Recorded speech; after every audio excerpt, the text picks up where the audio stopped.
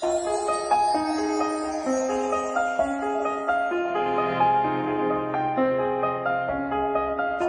morning cold and raining dark before the dawn could come.